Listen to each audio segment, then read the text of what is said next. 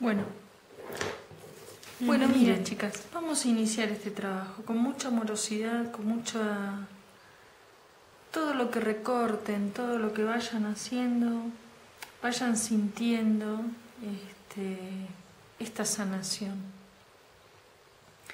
A veces no se trata de hablar con la familia, a veces no se trata de, sino de, bueno, poner orden, agradecer, honrar a cada miembro de, nuestra familia, lo conozcamos o no lo conozcamos, ¿no? Porque me ha pasado de trabajar muchísimo en talleres con, con personas que no conocían a sus padres, ¿no? Que eran adoptados o eso. Pero el tema es el amor, el tema es poner mucha amorosidad en esto. Ahí radica nuestro poder. Eh, la magia no, no, implica nada más que ejercer el amor hacia el otro y hacia mí mismo. Bueno, vamos a comenzar. Miren, vamos a agradecer al árbol que nos dio este papel, por otra parte. Y vamos a, en este caso yo trabajo con un papelito limpio para que ustedes lo visualicen mejor, pero pueden trabajar con cualquier papel de descarte voy a hacer mi arbolito, ¿no? Entonces para eso lo voy a doblar por la mitad. El tamaño de papel no se los puedo indicar, porque en realidad el tamaño de papel eh, tiene relación al, a la, proporción, digamos, es en relación a el círculo que ustedes hagan. ¿sí? Cuando vean el trabajo terminado van a ver por qué se los digo. Entonces este tamaño de papel depende de lo que ustedes quieran hacer o el tamaño del círculo que vayan a trabajar. Bueno, lo he doblado en cuatro, han visto, ¿no? Bueno, y ahora simplemente voy a hacer esto. Acá van a estar mis raíces, ¿sí? Este es el tronco. Y en las raíces voy a dibujar y voy a dejar a ver, me parece que ustedes lo van a ver mejor si yo lo marco con fibra, ¿verdad? Ahí. Y acá van a salir las ramas. Yo voy a marcar mis raíces. Fíjense que empiezo por donde está el papel doblado, tengo el papel doblado de este lado, papel doblado de esto, y acá he ubicado hacia afuera, digamos, el papel recortado. Entro, llegué hasta ahí y bajo y salgo por el mismo lugar. Entro y salgo, ¿sí? Y acá. Por ahí van a tener que hacer varios, ¿no? A mí me gustó hacerle algo así porque sé que después queda como si fuera un ADN.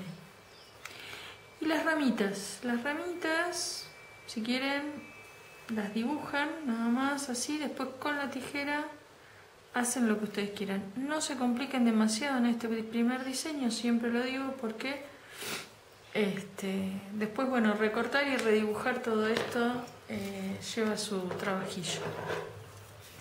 Lo primero que le voy a dar es la, la forma y el límite, el contorno, ¿sí? el campo. Voy a trabajar el campo mucha amorosidad. Para aquellas que no recuerdan cómo recortar, siempre lo digo, o para las que le enseñan a los chicos a recortar, siempre nosotros tendemos a navegar con la tijera. Bueno, pues bien, no. Hay que tratar de mover el papel con la mano contraria a la tijera, ¿sí? Y hacer una colaboración entre ambas. Yo fíjense, no sigo lo que he dibujado, o sí, un poco, sí, es simplemente para guiarme a penitas. Ustedes pueden terminar su árbol como quieran, en puntita las ramas, ¿sí? Bueno, como ustedes quieran. Yo lo estoy haciendo rápido. Ahora les voy a mostrar en mi ejemplo cómo me había quedado a mí terminado. Ahí vamos a sacar un poco más, como ven, no le di bolilla en nada a todo lo que había dibujado, no importa. Porque me encanta, en realidad yo dibujo con la tijera. Bueno, poco tosco quedó las ramas.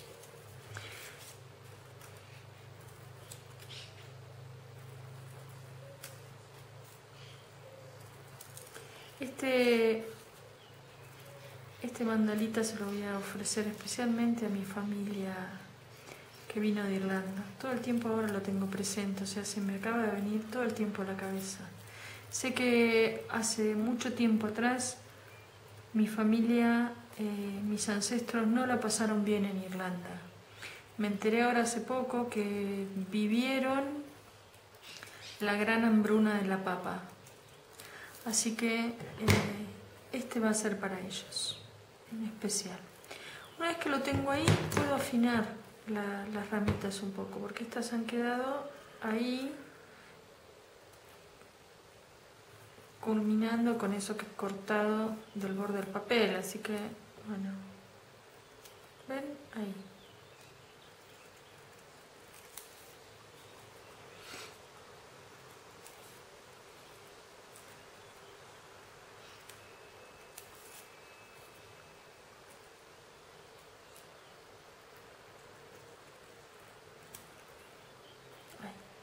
Y esto que les decía, que yo sé que forma después como un ADN, porque ya tengo la experiencia que lo, he vivenciado en otros. ¿sí?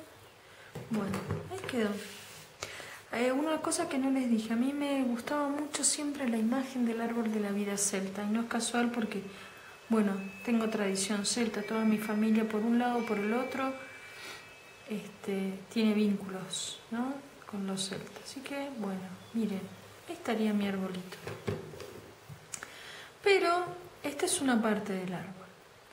Porque en esto de que el todo está en la parte y la parte está en el todo y como es arriba es abajo, bueno, yo descubriendo cómo doblar el papel, bueno, me ha quedado este. ¿Mm? Bien. Y de alguna forma, ¿dónde me ubico yo? ¿No? Estaré aquí, en esto que quizás hasta se puede extender, en esto que pasan a ser ramas, ¿sí? Y raíces al mismo tiempo, conector cielo-tierra, bueno, eso ustedes verán. El paso siguiente sería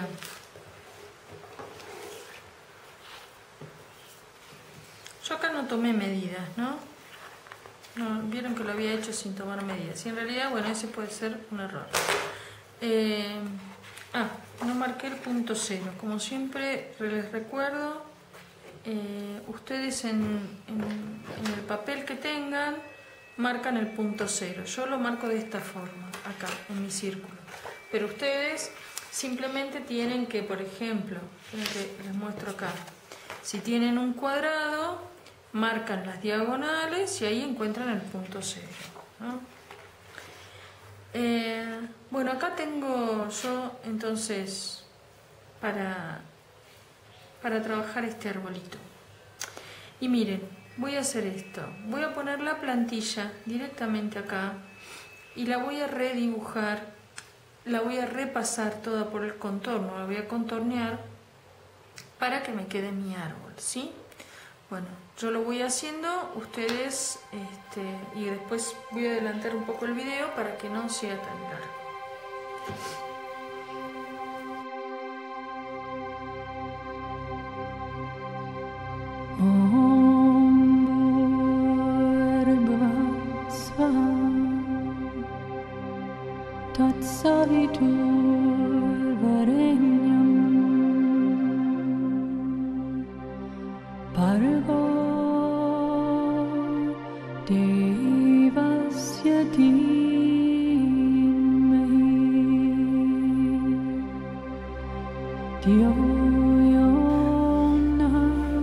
Bueno, ya quedó remarcado. Ahora lo único que tengo que hacer es redibujarlo. Con los motivos que quieran, con el fondo que ustedes quieran. Esto es simplemente la plantilla. Eh, voy a cortar acá, después gustaría explicarles otra cosa y voy a adelantar el video para que ustedes puedan ver cómo remarco.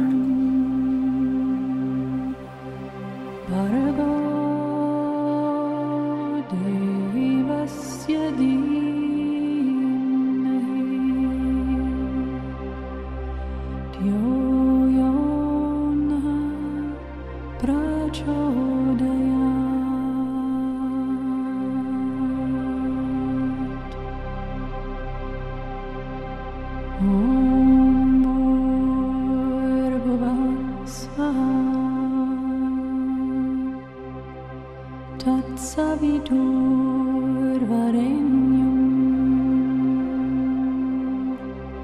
pargo devasya dimahi